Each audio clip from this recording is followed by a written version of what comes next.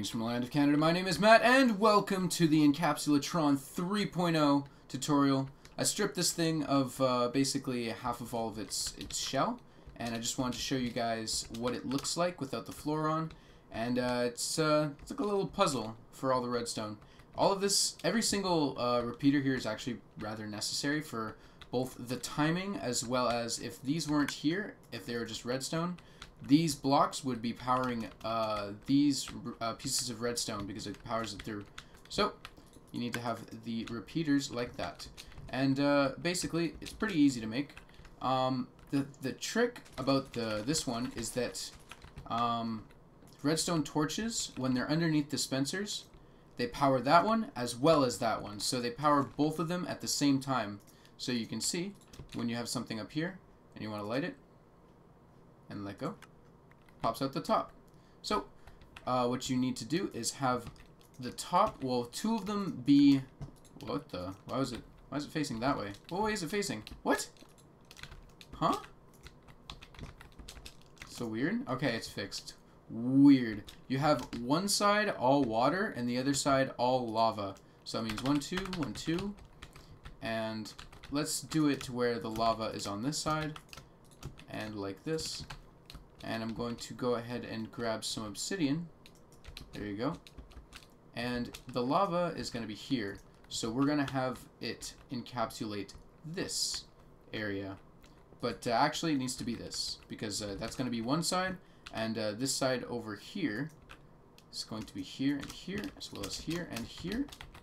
And uh, then the next side is going to be here and here. As well as this. Yeah, it just puts it upside down. That's weird.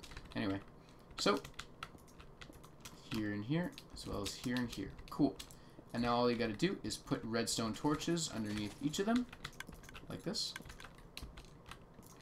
Now they are all powered. Uh-oh. Okay, um... Can I get those sucked back in, please? Uh-oh. Um, whoops. Yeah, see, I shouldn't have, uh... That's, uh, my bad?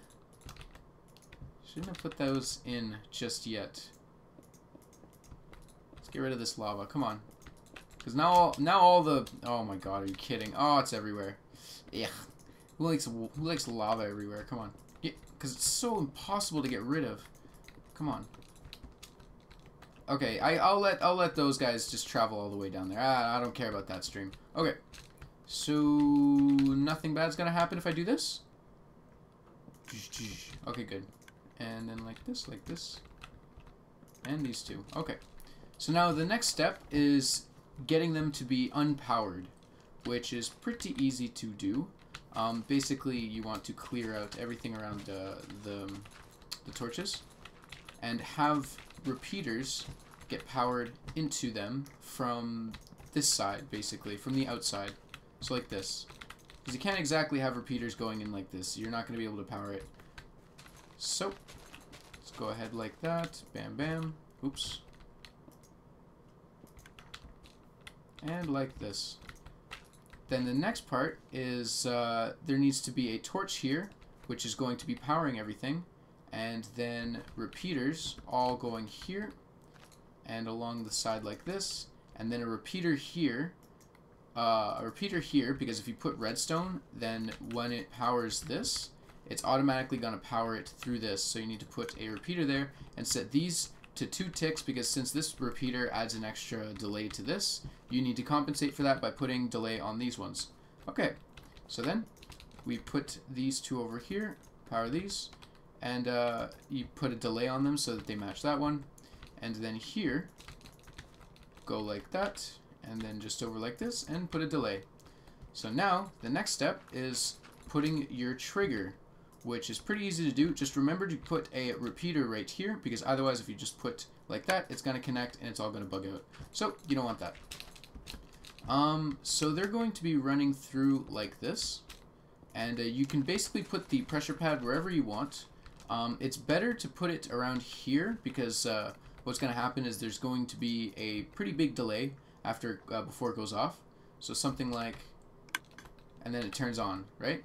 So like this is actually a pretty uh, good distance because you'll see right about there it will click and everything we'll get set off. So now we're going to try the test phase. Uh, 1, 2, 3, 4, 5, 6, 7, 8. 1, 2, 3, 4, 5, 6, 7, 8. Uh, I actually need more than those, but uh, let's start with that for now.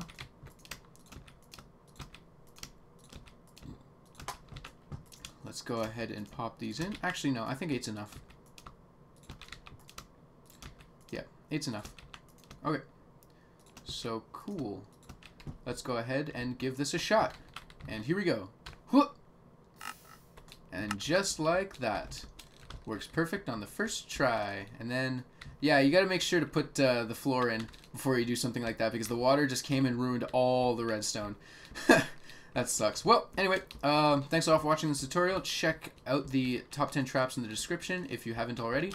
And uh, yeah, thanks all for watching, guys. Peace.